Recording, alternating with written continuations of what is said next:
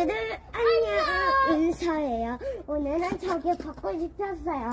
조금만 폈는데 네. 제 동생이에요.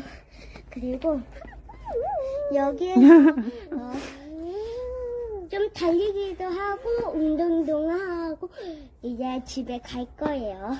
자 이제 먼저 뛰어 다닐게요.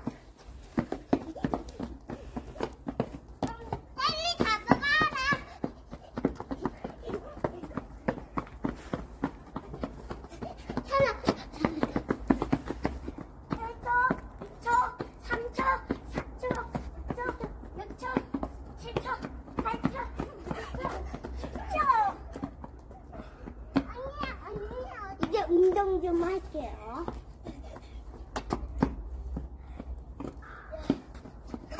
운동 잘해야겠다.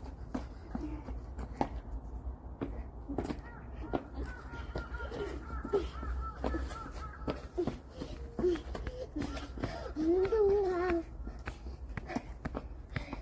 운동 이제 다 했어요. 이제 개미, 개미들 말고 꽃 들을 관찰을 보겠습니다. 이제 저쪽으로 가볼게요.